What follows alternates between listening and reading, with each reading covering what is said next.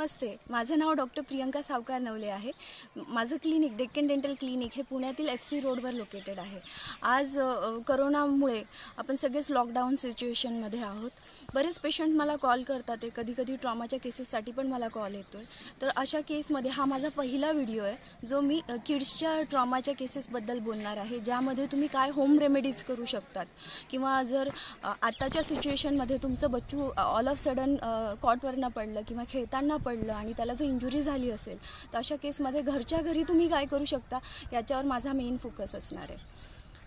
तर सपोज बच्चू खेळताना पडलं बऱ्याच वेळा काय होतं अशा केसमध्ये लिप ट्रॅप होतो. म्हणजे वरचे आणि खालचे जे दात असतात त्याच्यामध्ये लिप अडकला जातो. कधी कधी ते दात ओठामध्ये रुतले जातात आणि ऑल ऑफ सडन रक्त यायला लागतं. खूप सारं रक्त यायला लागतं.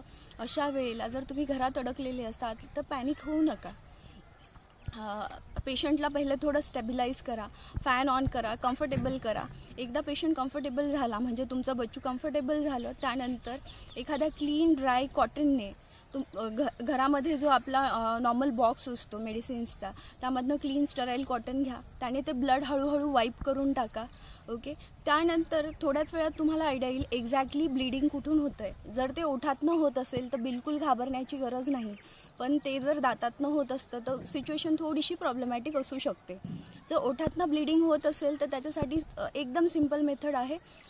ते ब्लिडिंग वाईप केल्यानंतर इमिजिएटली घरामध्ये जो आईस पॅक असेल किंवा आईस पॅक जरी नसणार आहे तर अशा वेळेला तुम्ही काही आईस क्यूब्स बनवू शकता किंवा थंड पाण्याची बॉटलसुद्धा तुम्ही घेऊ शकता.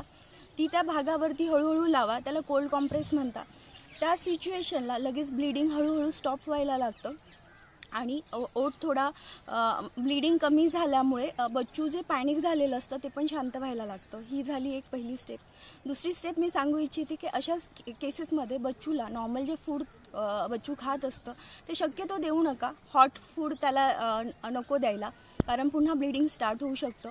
स्पायसी फूड देऊ नका कारण चीर गेलेली असल्यामुळे रक्तस्राव झालेला असल्यामुळे खूप तिखट लागू शकतं. अशा केसमध्ये दोन ते तीन दिवस त्यांना सगळं थंड देण्याचा प्रयत्न करा. आणि त्यातल्या त्यात मी म्हणेल की कमी स्पायसी गोष्टी पेशंटला द्या. तर हे झालं जर ओठाला इंजुरी झाली असेल तर तुम्ही काय करायचं? थर्ड थिंग मी सांगेल जर घरामध्ये कुठले जेल्स असतील जे तुम्ही इंट्राओरली अप्लाय करू शकता जसं स्माईल जेल येतं डोलोजेल सी टी येतं तर असले कुठलेही जेल तुम्ही जिथं ऊन झाली आहे तिथं जर अप्लाय केलं तर लोकली तो भाग ॲनेस्थेटाईज होतं. आणि तिथं पेन होणं बंद होऊन जातं. जेव्हा पेशंट जेव्हा खात असतो त्यावेळेला त्या जागेवरती पेन होणं बंद होतं. जेणेकरून तुमच्या बच्चूचा फूड इंटेक झालेल्या इंजुरीमुळे हॅम्पर होत नाही. तर ह्या तीन गोष्टींची काळजी तुम्हाला घ्यायची आहे. जेव्हा ब्लिडिंग ॲक्च्युली ओठातनं होत असेल.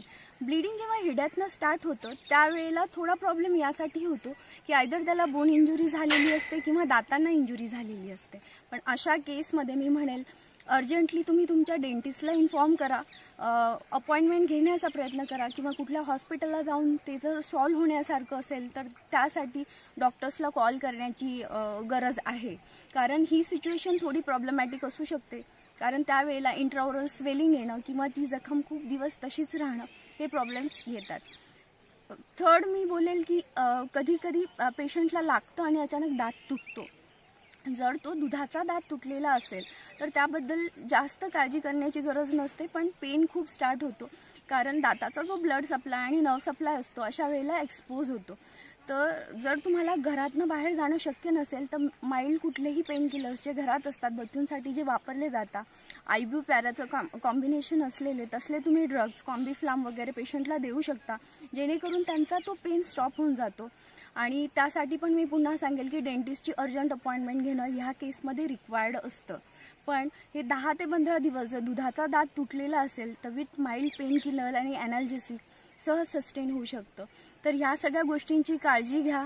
आणि अडल्ट्समध्ये किंवा बच्चूंमध्ये जर पर्मनंट टूथला डॅमेज झाला तर काय करावं लागतं? हे मी तुम्हाला नेक्स्ट व्हिडिओमध्ये सांगेल.